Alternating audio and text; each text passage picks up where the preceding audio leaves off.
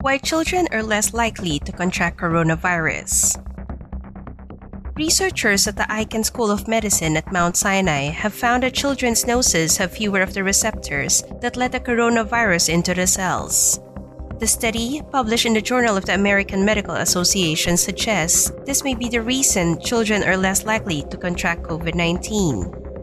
The researchers studied the angiotensin converting enzyme 2 or ACE2 receptor, which is the protein that acts as a kind of doorway for the coronavirus into cells.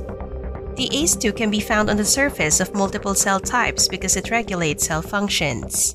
However, the coronavirus is able to bind to ACE2 with the help of its corona, or crown made up of spike like proteins, before entering and infecting the cells.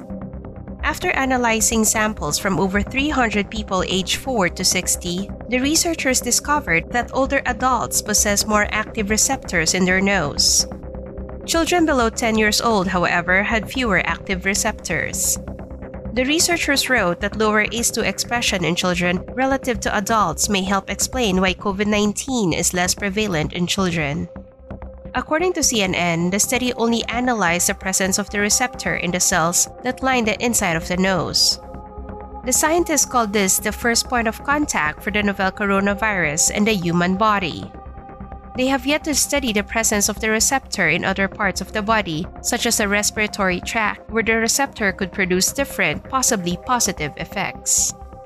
According to the conversation, aside from the respiratory tract, ACE2 can be found in the heart, kidneys, gastrointestinal tract, liver, and blood vessels.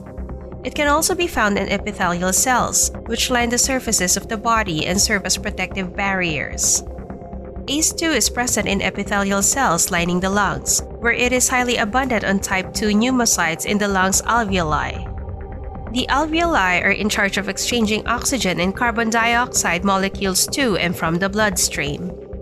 Everyone has ACE2, but some may have more of the receptor than others.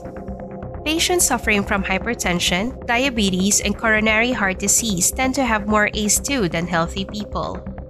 Studies done on mice have also revealed a link between the lack of ACE2 and severe tissue injury in organs such as the heart and lungs.